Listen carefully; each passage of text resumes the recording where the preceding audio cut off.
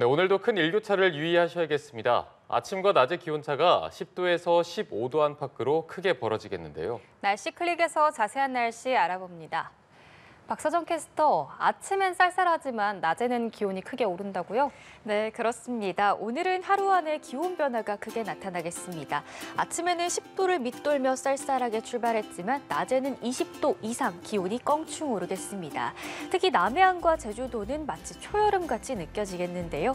일교차가 10도에서 15도 안팎까지 크게 벌어지는 곳이 많습니다. 입고 받기 쉬운 옷차림하고 나오셔야겠습니다.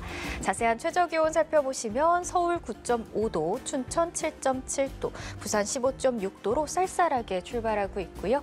한낮에는 서울 23도, 청주 23도, 부산 24도로 온화함이 종일 감돌겠습니다. 한편 동해안과 영남 해안에는 강한 너울이 밀려들겠습니다.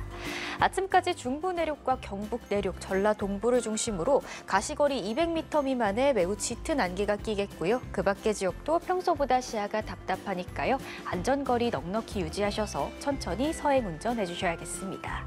주말인 내일은 대체로 맑은 가운데 제주도와 남해안에 비 소식이 들어 있고요. 일요일에는 흐린 하늘 속 남부와 제주도에 종일 비구름이 머물겠습니다. 주말 계획에 참고하시면 좋겠습니다. 내일까지 아침과 낮의 기온차가 큰 폭으로 벌어지겠습니다. 환절기인 만큼 감기 걸리지 않도록 신경 잘 써주셔야겠습니다. 지금까지 날씨 클릭이었습니다.